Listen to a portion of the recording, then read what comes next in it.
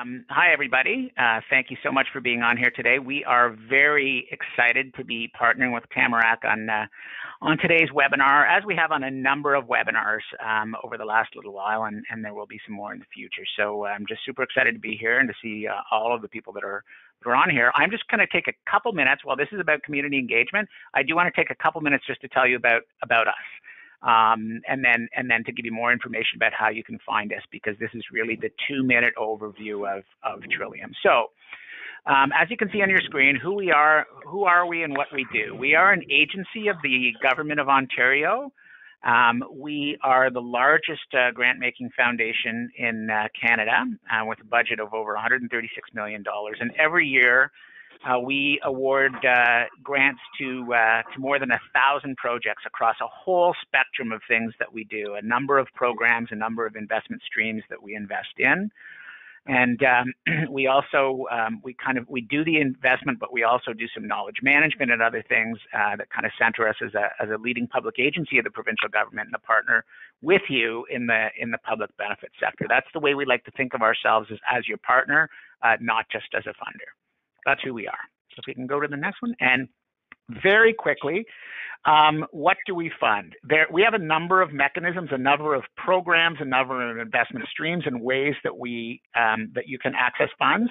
But for the purpose of today, we're not going to get into that. I just want to talk about what we fund, um, and and what you're looking at are, are what we call our action areas, and they define what we mean by healthy and vibrant communities that's our mission. Our mission is to help build healthy and vibrant communities by investing in, in you guys to uh, to accomplish a whole um, number of things. I'm not going to go through one by one each one of these things, but as you can see, we break them up into six areas: active people, connected people, green people, inspired people, promising young people, and prosperous people. And each one of those things, as you can see in the colorful kind of taglines underneath, describes what it is that we want to invest in um, to accomplish things in community. Um, and that, importantly, like I say, that's that's the what. And there are a number of mechanisms for how.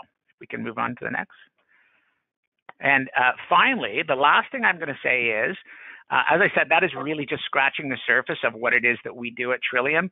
If you are interested in learning more about Trillium, please contact us. Number one, go to our website. It is very good. Our communications team has done a fantastic job, and you can find out everything it is that we do, how to access us, how to access funds through the different investment streams and action areas on our website, and certainly follow up with our support center at the numbers listed there or our email at otf at otf.ca, and they can, uh, our support center can direct you to um, specific staff that can work with you on your idea and help you figure out how best to penetrate our uh, very large investment model. And that's uh, that's a brief intro into Trillium, and I'm going to pass it um, pass it back to Megan. Thanks, Doug. So now it's my uh, pleasure to introduce you to our webinar speaker for today, Sylvia Cheuy. Sylvia is a consulting director of the Tamarack Institute's Community Engagement Idea Area. She is passionate about community change and what becomes possible when residents and various sector leaders share an aspirational vision for their future.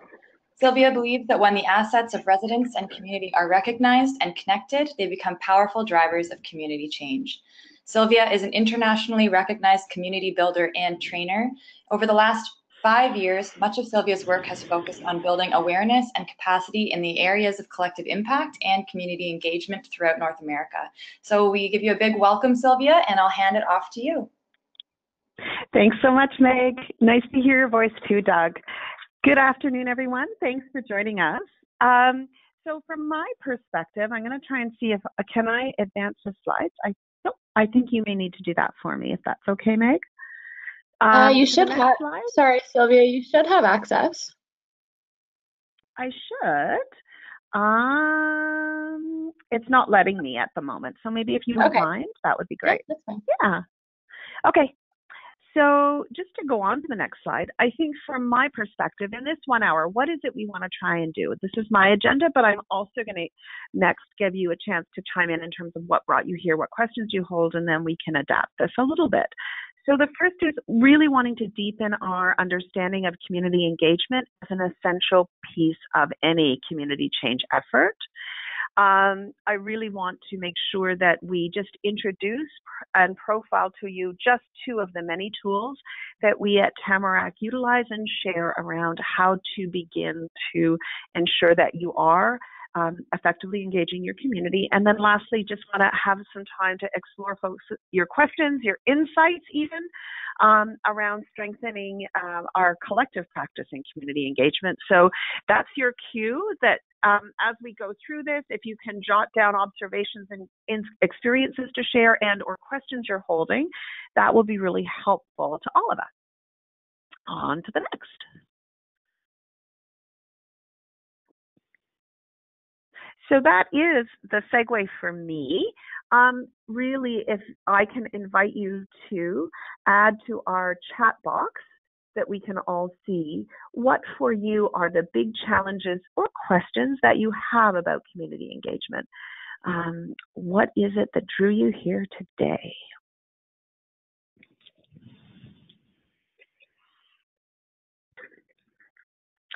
Trying to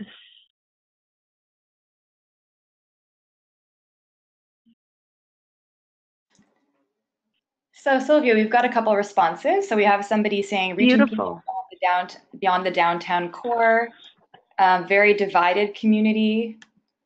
How do we get different groups and sectors to be more open to working together? Creating authentic relationships, reaching new audiences, managing engagements, how to develop trust with communities who have historically had reason not to trust institutions, what strategies work and what don't, and there's lots and lots of other here. Some are around um, geography, rural versus urban. Um, mm-hmm. Yeah, so there's lots of great questions coming. Beautiful. That's great. And it's great to have them all kind of identified here and we'll kind of work our way through. But then if new ones emerge or if other questions, um, if you're, you know, I'm not getting to the nugget of it for you, would love some ongoing clarification. So if we can go to the next slide.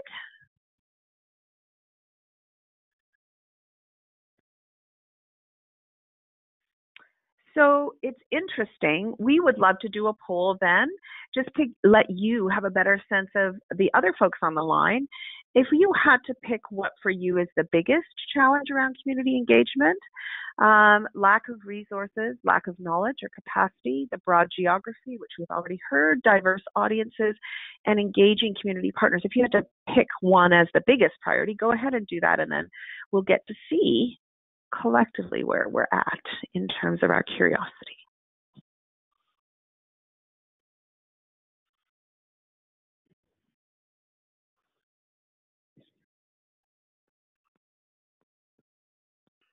And this is where I rely on your magic, Megan. Yeah, so we see the results. We've had almost 76% of the crowd respond, which is awesome, and people are continuing to, to put in their um, two cents. So right now, um, we're seeing a split between lack of resources and diverse audiences to engage, with um, engaging community partners being sort of the third most common.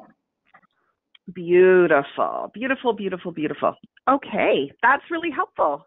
So it is about this diversity um, how, uh, specifically around uh, and resourcing this effectively and engaging community partners. So let's dig into the meat of what this is and see if we can come out the other end with a bit of clarity. Um, looking at the research, um, if we flip to the next slide, these are um, some of the common, common challenges that people name when they start talking about and thinking about how would they go about doing some engagement. Um, when I think about this versus some of the questions we've got, I mean, it's interesting to see that some of these are related to internal organizational engagement and creating alignment in within an organization as much as engaging outside the organization for um, different communities. Um, and I think someone had named this, you know, part of the challenge sometimes about engaging community or engaging particular diverse audiences is this piece where, you know, we have to own that there's been a track record that may have preceded us where, you know, we have come to community in a very transactional way. Um, to get information that we need that will serve us. And they are, you know, um, skeptical about uh, the authenticity of our consideration, our commitment to this. And so, you know, helpful to remember and to know that it might take us a little more than one kick at the can to get to this hope that we are um, around engagement. So if we can go to the next one.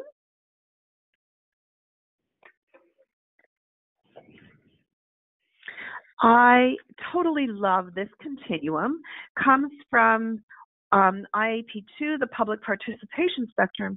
Why I like this as a frame is it really helps us to see how important it is before we even go out and begin to engage to get clarity and consensus amongst ourselves about what is the purpose, what is the intent um, that we want to accomplish with our engagement, and that there are actually a range of options. Here are sort of along a continuum, the five big ones. So sometimes we just want to inform people about what's happening. Um, sometimes we want to consult with people. So, you know, we've come up with three possible solutions. We need to hear from you. Which one do you think is the best?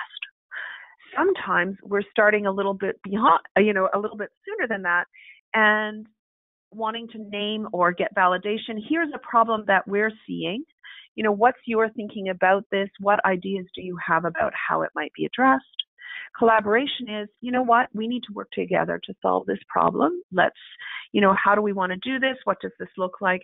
And then the empower is, you folks seem to care about this issue and really are leading out on it. How can we support you to continue to do your work and do your work better or with greater impact? All of these are legitimate um, forms of engagement where a lot of the mistrust or um, around engagement can sometimes come from is if we who are doing the engaging aren't clear about what our intent is or there's a disconnect between you know the tools we're using the approaches we're using and our intention around really engaging or involving but we're using sort of um, approaches that are really kind of transactional and about information if we go to the next slide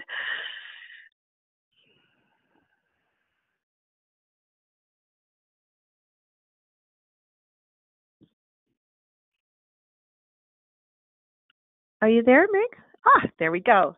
Um, you know, many of you who've been doing work with us around the collective impact work absolutely know and are familiar with different types of problems. Simple ones where we have a known recipe and it's really about implementing or executing that in our jurisdiction. Complicated, where there are a number of moving parts that we have to click together, but we're confident once we put them together it's going to work. And complex, which are problems that we are trying to solve um, that are dynamic. So they're not easy to pin down. There's a lot of interconnected contributing factors. Um, the dynamic of the community we're serving is shifting and changing on an ongoing basis. Naturally, it's a different kind of problem, and some of the tools and uh, resources that we bring to it need to look different. And in keeping with that, if we go to the next slide, and we anchor ourselves right back into this continuum, two things I want to note. So if you think about simple problems and complicated problems, you know, informing and in uh, and consulting often are you know areas where that's the level of engagement sometimes needed.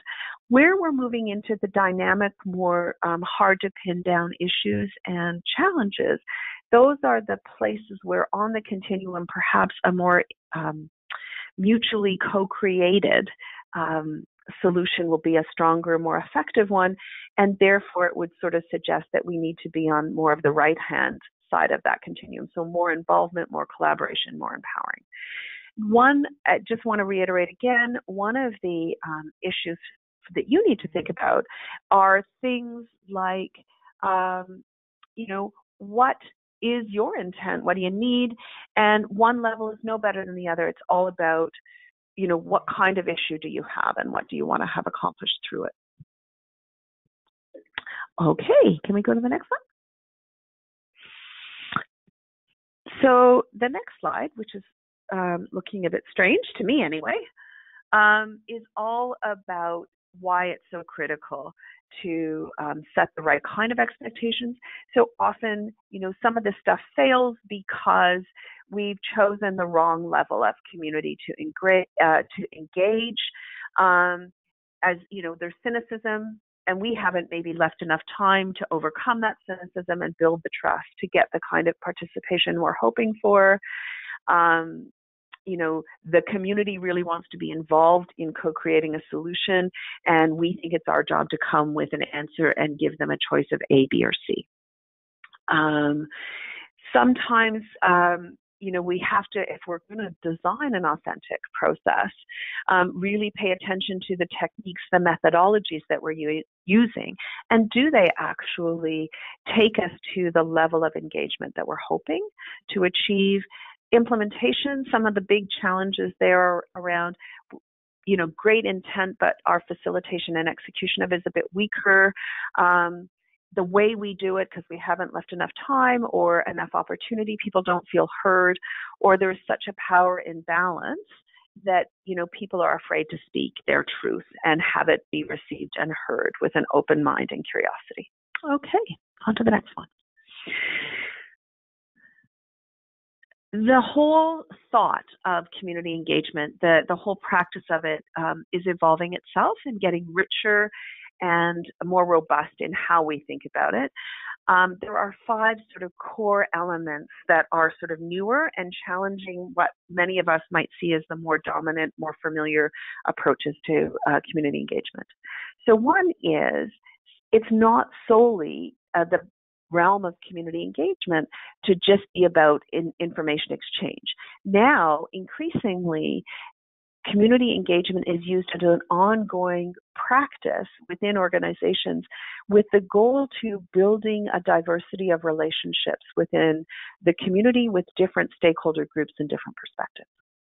A second element that's also being integrated in is education. And for me, effective community engagement actually is bidirectional um, education, or, you know, so in the spirit of kind of power sharing, the information exchange is equally flowing both ways. And there's an openness and curiosity for both to hear from each other. a, a, third piece is really moving further along because we tackle often now many more complex issues and opportunities. How do we share ownership for um, the uh, the issue, the challenge, and coming up with the solutions?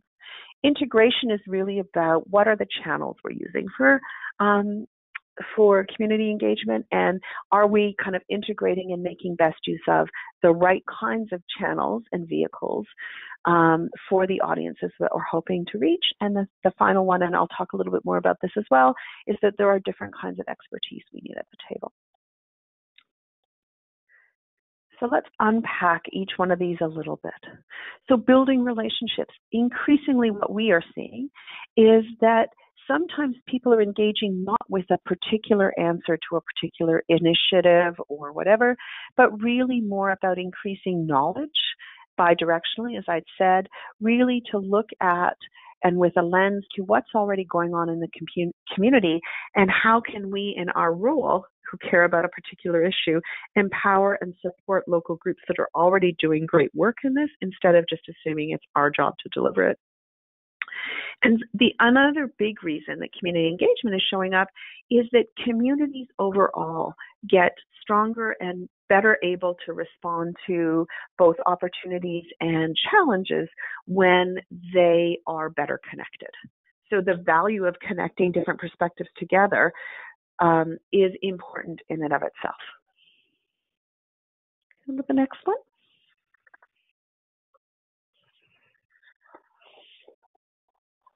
This next slide that's coming, this is actually taken from an incredibly good resource that I would highly recommend from a group out of Australia called Capire. And I think for me, this sort of articulates the piece that we just talked about. So yes, we might be engaging to inform decisions. Sometimes we might be engaging to build capacity, both internally to our organization, but and, and or uh, to our stakeholder partners and or to the community at large. And the third piece is around uh, strengthening relationships. And often, what you'll see if you would try to locate your intent, it might be somewhere in the middle um, between these different pieces.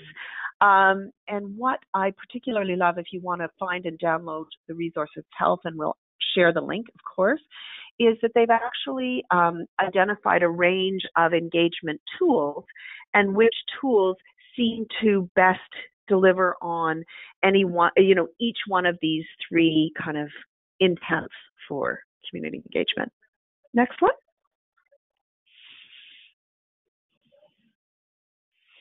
Um, if what your intent really is is around building relationships, then some of the things you need to be thinking about in terms of how you design are things like how do you create a, an agenda that's flexible enough um, that allows time for story sharing, for people to get to know each other on multiple levels, for really good listening and curiosity questioning, um, particularly when it's groups that wouldn't normally interact with each other. Um, and acknowledging that we are engaging for the sole purpose of building relationship might be an important thing to kind of put out there right at the beginning because rarely does that happen? It's usually because there's an end product that we're needing to get to and people will probably expect that when you first approach them. So just building relationship as um, as an intent and a valuable purpose um, is something that's a bit newer and that you might need to sort of be clear about if that's your expectation.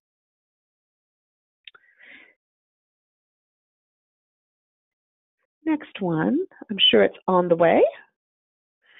So, education, information, it really is about the stronger community is the community that's really well informed. And so, how do we create those opportunities for mutual uh, education across uh, stakeholders who wouldn't normally interact with each other? it's often what we find is an important source of creativity and innovation when you bring diverse partnerships together. Okay, next one. Uh, this is really interesting. Um, you know, when we're talking about, you know, building relationships and educating, an important consideration is people come to issues with different levels of knowledge and information, and there's a direct correlation somewhat varied, but across, you know, Australia, Canada, UK, US, around the degree to which a, a group is informed and their subsequent level of trust in the organization. So when I look at this, I mean, it does paint a challenge, but it also helps to validate for me why having an intention of community engagement for the sole purpose of educating um, actually has some legitimacy to it, right? If we make sure that our stakeholders are better informed both about our issues and what we're seeing, odds are they're more likely to trust us and then more likely to come to us when they see things that are emerging. Okay, next one.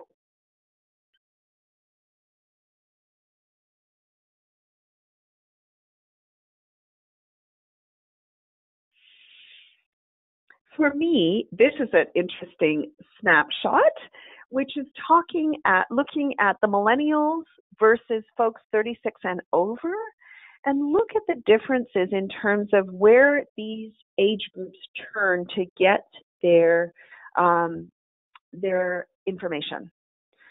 The blue box is Facebook, but for me that's broader. It's actually social media generally speaking. Uh, TD, news websites, word of mouth, you know, so this might be really informative for you depending on if there's a particular age audience you want to be reaching. Are you using the right channels to reach them? If you're trying to kind of get all age groups, then you know you really need to be mindful about using an array of different approaches to speak to the listening of these different audiences. So useful to think about. Also kind of highlights some of the intentionality you need to bring to designing an effective community engagement process. Love this slide, I have to say. And what it's kind of reminding us is, you know, remember that the environment that you're putting your messaging out into is a very cluttered space, a very noisy space, and that there will be lots of competition for grabbing people's attention and you know hooking them in a bit deeper things that folks have found really effective knowing that that's the context that we're moving this work into is can you use video? Can you use infographics that people can look at in a split second and get a good feel or a sense of what it is you're trying to um, frame for them? Humor people tend to remember that. Um, really making sure that you know you're being clear about what's in this for you why this is important for you as opposed to why is this important for me? Um, and making sure you're accessing the channels you need. And then how do you kind of give people permission or opportunities to kind of do their bit to help spread the message along for you? All right next one um, for me, this is a really important distinction. And again, I'm thinking you're moving, you know, depending on and assuming where you are at on the continuum of engagement is more towards, you know, shared solution making.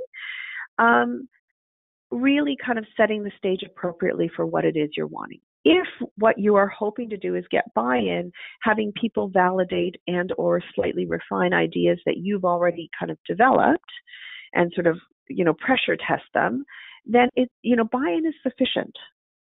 Um, but if what you're really un, you're unsure or you're innovating or um, you know you want to try and come up with a new approach to something, having that process and uh, be shared in terms of its ownership is probably the stronger bias that you need to be leading towards.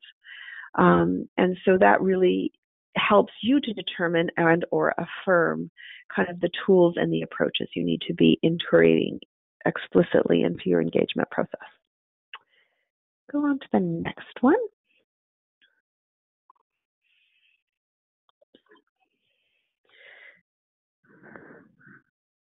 Um, okay, so the next one for me is something we've already talked about. So it's really kind of just anchoring back to that first kind of continuum and uh, the buy-in and the ownership.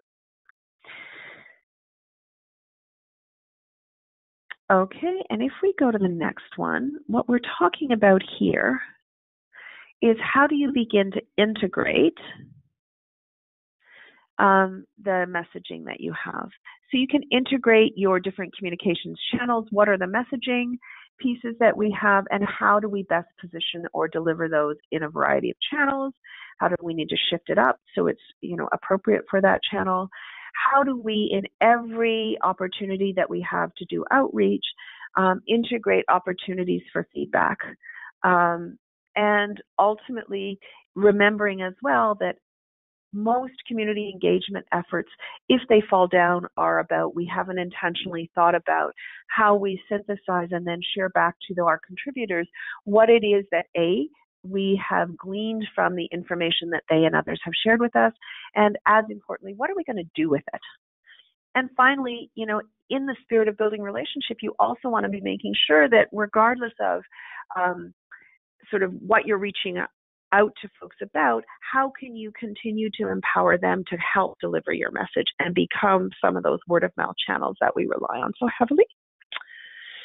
Next one is really about reminding us that we need, particularly when we are trying to design around a complex issue where we can honestly say we don't have the answer or set of answers we need to make a difference on the issue we need to be very intentional about welcoming to the table both our content expertise and our context expertise. So, what do we mean by that?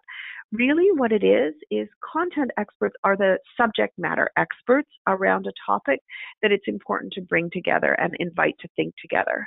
The context experts are equally important. These are the folks with lived experience. These are the residents of a particular community because what they have and the knowledge that they bring, which is equally essential to that of the content experts, is that they know how to make um, a good idea that in theory real and effective on the ground in your unique community. So you might see this brilliant strategy, opportunity, solution coming out of, I don't know, Pennsylvania. So if that's kind of, but that doesn't necessarily mean when you bring it to downtown Toronto, it's going to work.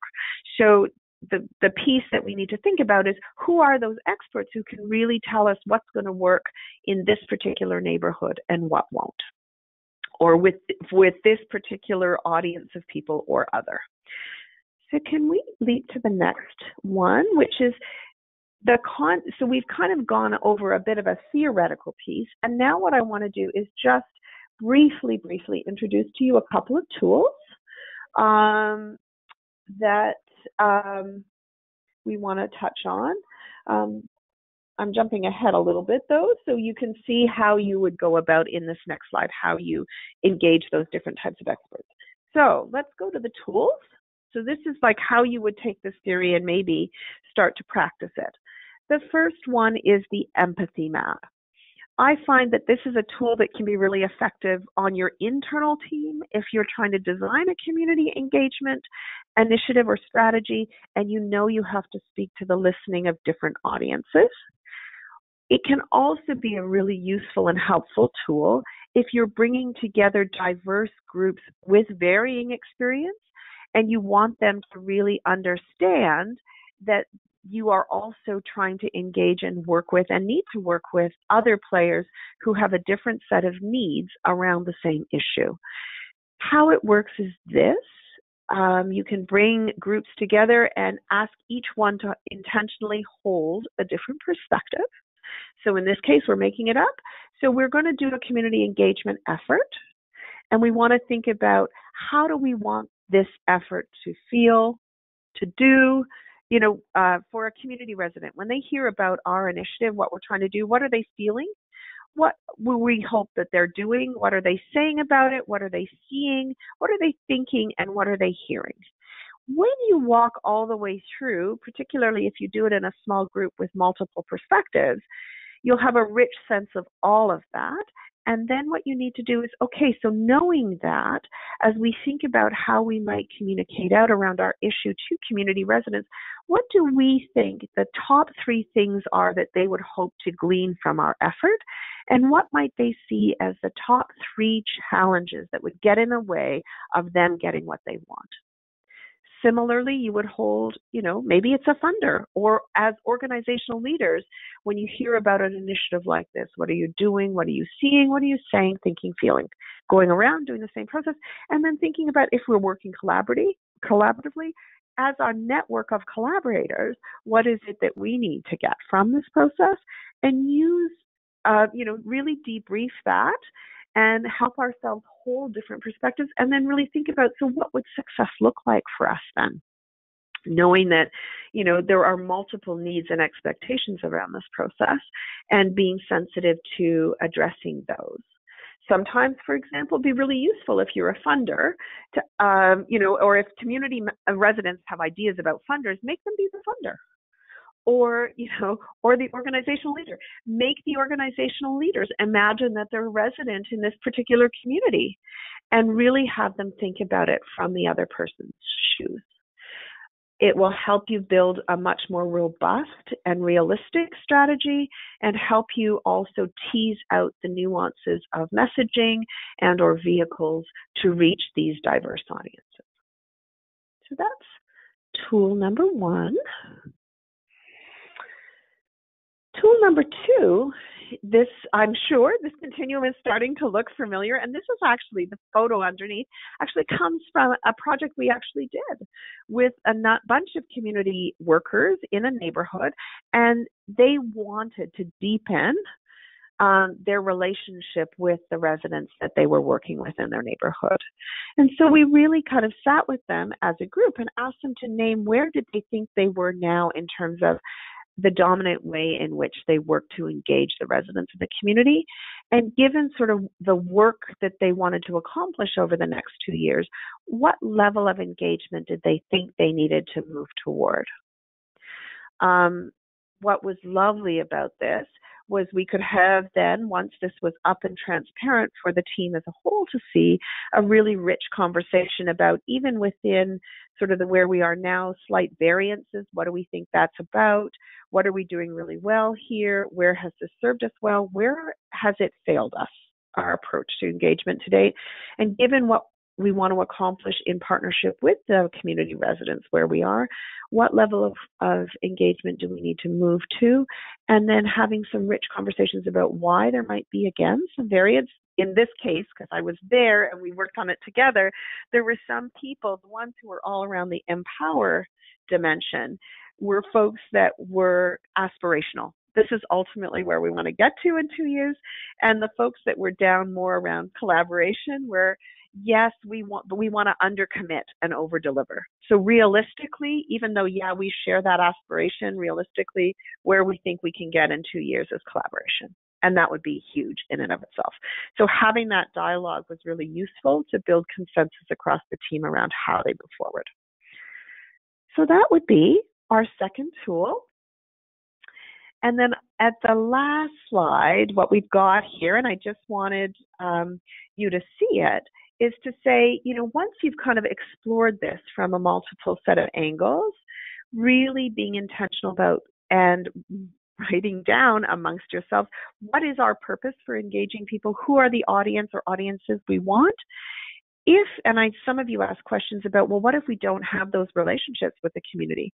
Maybe there are um, other agencies that you know in the community that do have strong relationships. Can you lean in on them and ask them to help you um, being really clear about the outcomes you're trying to achieve with the engagement. Is this a one-off or is this the beginning of building a long-term relationship uh, to the community?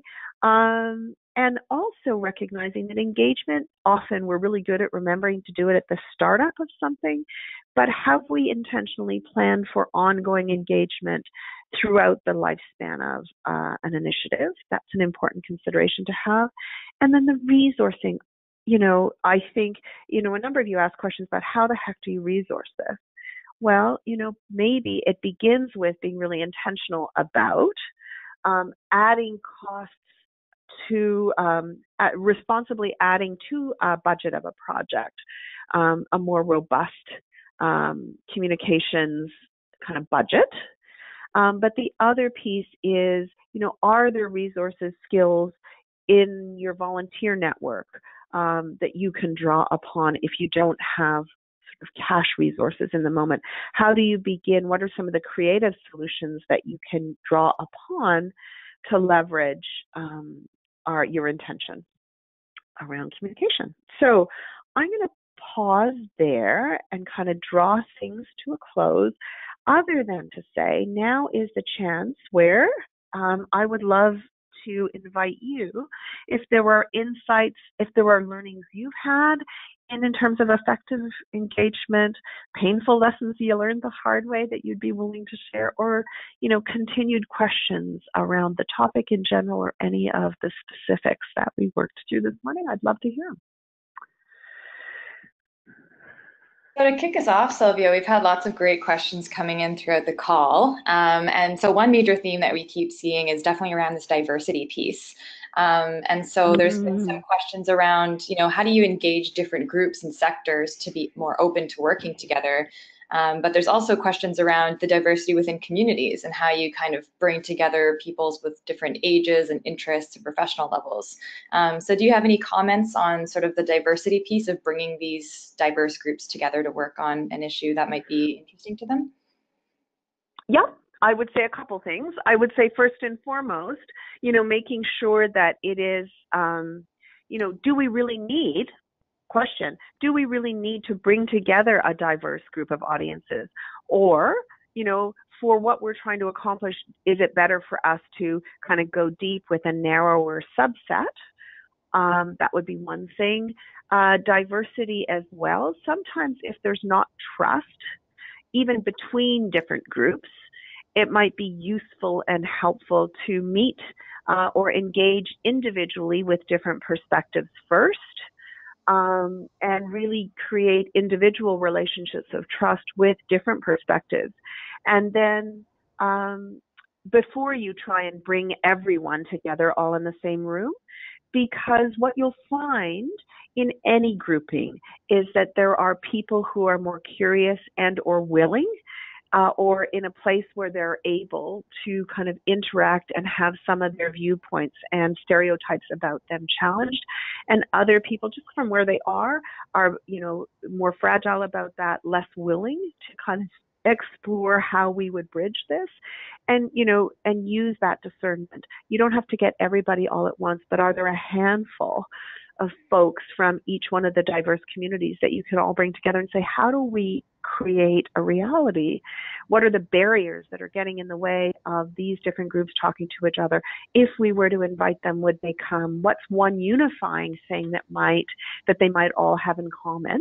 So they have a reason to interact with each other and therefore might discover, in spite of what some of their assumptions are, that they actually have very similar aspirations or hopes around a key issue.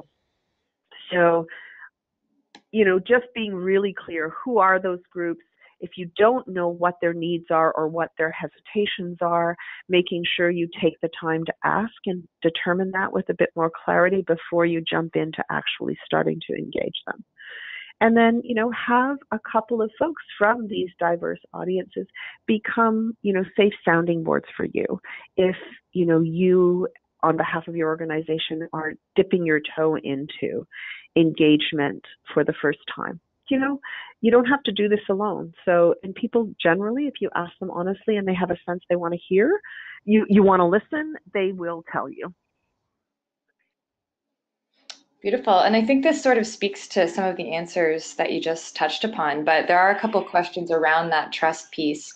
Um, and specifically when historically there's been a, um, a, you know, trust has been broken and you're trying to sort of rebuild that trust. Um, so how mm. to develop mm. trust with communities who have historically had reason not to trust those institutions? I would say two things. I would say rather than hosting an event that you again expect the community to come to, educate yourself first about where are those meeting places in the community where are the meetings that are already happening can you before you even go out and be asking people spend some time listening to them spend some time understanding what it is that their hopes and aspirations are and then think about how you might you know how what you're trying to accomplish as an organization may align with some of the hopes that these neighbors have it would also then give you an opportunity to see where the assets are. Never do we walk into a community and there's a blank slate that we're working from. Um, so can we become, can we educate ourselves about who, you know, who the agency resources are, who the leaders, the natural leaders are of those communities? um, and what matters to them. How do we position what we're trying to do in a way that aligns with what they want to accomplish instead of the other way around? That would be a first piece.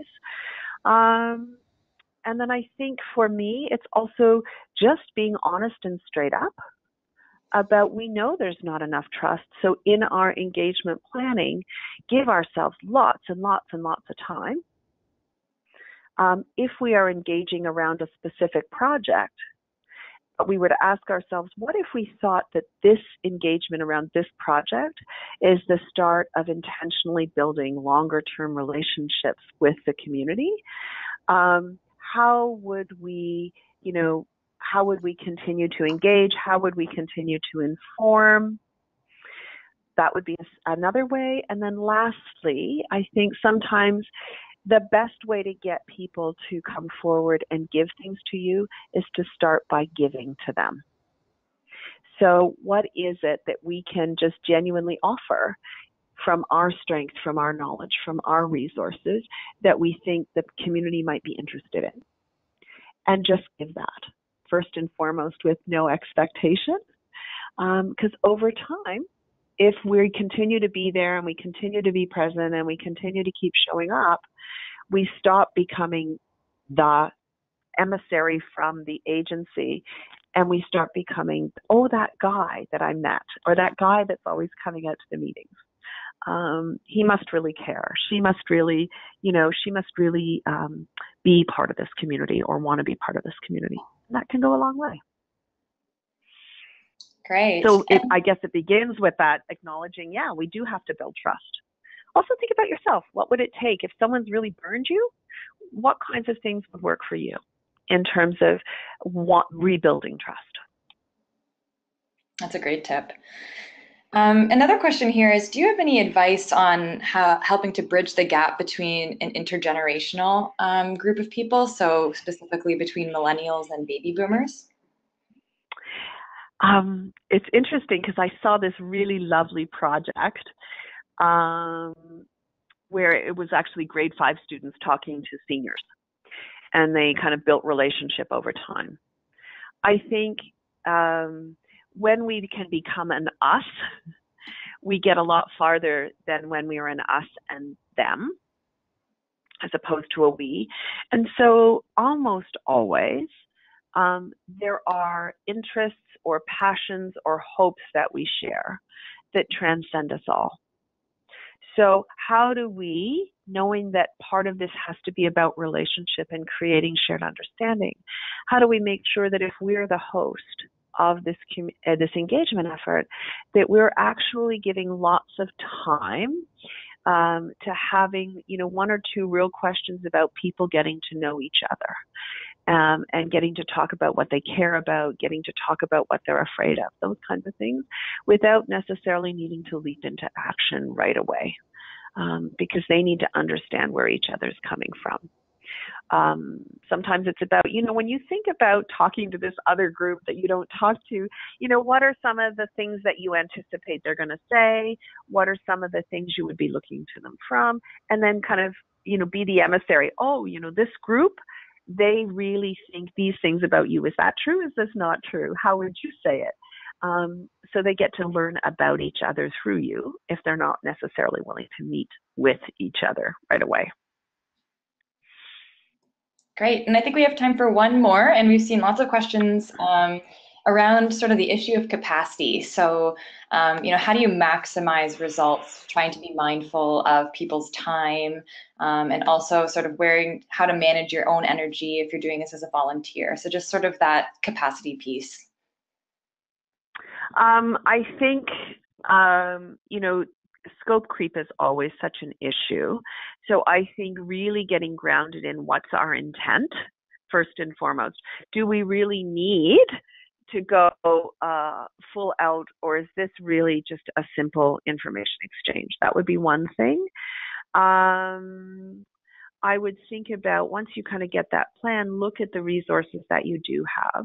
Where can you lean in? Do you have strong partnerships where they might have resources that you can piggyback on as opposed to thinking you have to do it all yourself?